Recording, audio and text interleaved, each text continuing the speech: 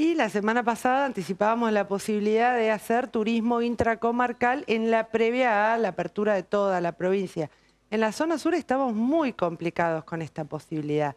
Primero porque es una zona que no está preparada para el turismo a gran escala. Eh, tenemos paisajes maravillosos, pero para realizar actividades puntuales y acotadas como la pesca en Senger.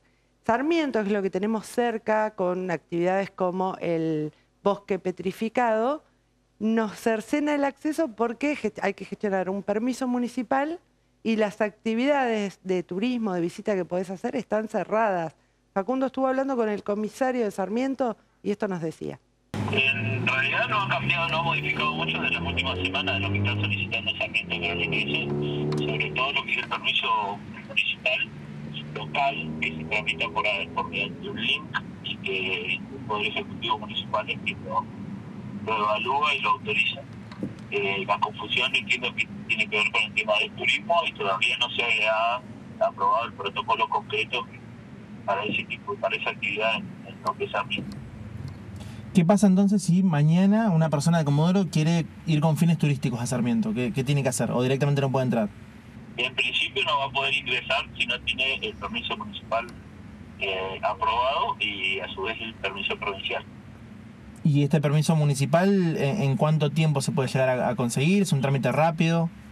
Entre 48 y 72 horas tardan en, responder. Analizan la situación que se plantea eh, y, se envía mediante eh, un correo electrónico y luego al personal que está en el ingreso le llega la, la planilla para poder verificar que sea el permiso los que otorgan la municipalidad. Hablamos, por ejemplo, de la posibilidad de ir a pescar al lago o de, no sé, ir al bosque petrificado, por ejemplo.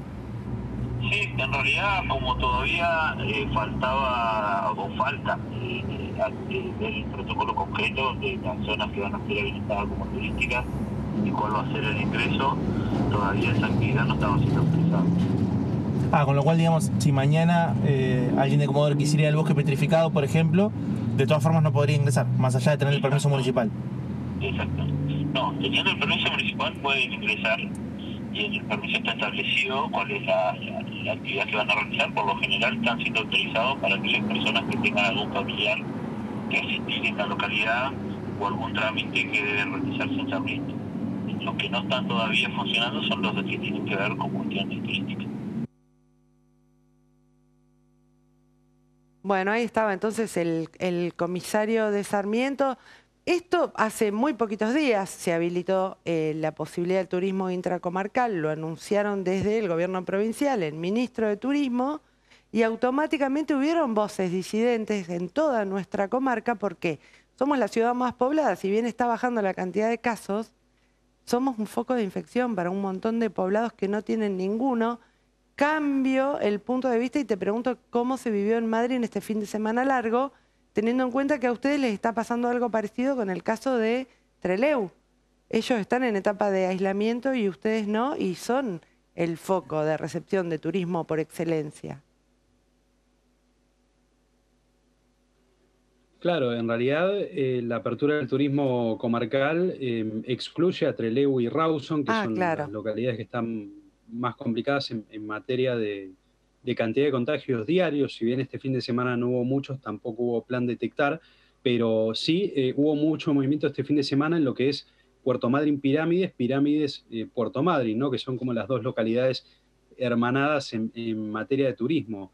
Eh, pero sí es cierto que em, cuando se abrió, cuando se presentó este plan de, de recuperación del turismo, de apertura del turismo por comarcas, hubo varios intendentes, por ejemplo, también fue el caso de Alto Río Senger y de Camarones, que son localidades, en el caso de Alto Río Senger creo que no habían tenido casos, y en el caso de Camarones habían tenido seis casos en el momento en que se, presentó esta iniciativa, y por supuesto que los intendentes eh, que se deben a su gente quieren evitar que esto genere un, un nuevo foco de contagios en lugares en donde no los hubo, o que se incrementen en aquellos lugares en los que hay pocos, como es el caso de Camarones, que tiene una población muy, muy reducida y seis casos ya es eh, un, número importante.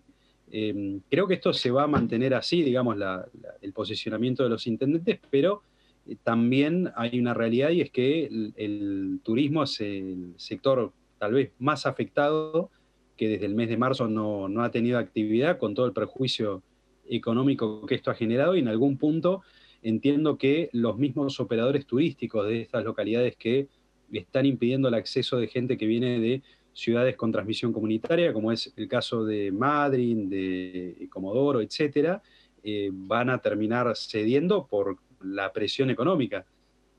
Claro, porque son ciudades que además aglutinan el mayor poder adquisitivo para hacer turismo, justamente. Exactamente. Exactamente. Y todo eso es dinero circulante, dinero que se derrama, que no se derramó durante ocho meses y que ahora podría eh, ser un espaldarazo para que refloten las economías locales, ¿no? Más en, eh, en comunas, en localidades chiquitas que sintieron el impacto de la pandemia mucho más que otras.